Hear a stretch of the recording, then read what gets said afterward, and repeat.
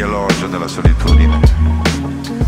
Si sa, non tutti se la possono permettere, non se la possono permettere i vecchi, non se la possono permettere i malati, non se la può permettere il politico, un politico solitario, un politico fottuto di solito.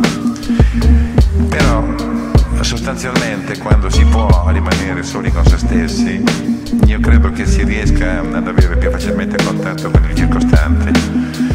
Circostante non è fatto soltanto di nostri simili, direi che è fatto di tutto l'universo. Dalla foglia che spunta di notte in un campo fino alle stelle.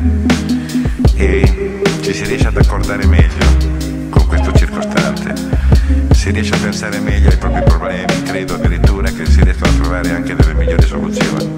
Non è che si debba fare gli eremiti constatato attraverso la mia esperienza di vita, ed è stata una vita, mi sono reso conto che un uomo solo non mi ha mai fatto paura. Invece l'uomo organizzato mi ha sempre fatto molta paura. Ecco, semplicemente questo. Poi si potrebbe parlare a lungo di...